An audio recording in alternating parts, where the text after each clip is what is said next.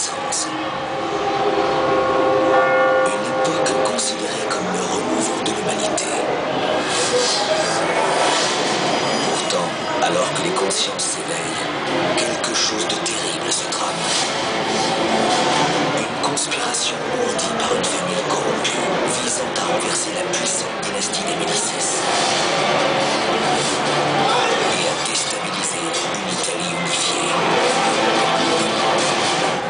s'il reste encore des hommes prêts à se battre pour la justice.